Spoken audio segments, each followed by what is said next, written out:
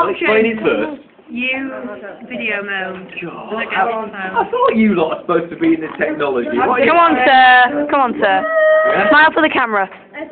Why? Because. Mr. Ashley is getting a thingy pushed into him. Right, so, that trolley, I'm really sure what it that, is. that trolley's going to come towards me at high speed. I'm going to deliberately stand still, but just as it arrives, I'm going to jump off the ground so that my legs aren't, aren't too moved away. And I'm going to end up on the trolley. But basically, that's going to have momentum, I'm going to have none, then we're going to see what happens afterwards. Okay, you ready? Three, two, one, go. Joel, Joel, you're supposed to let go!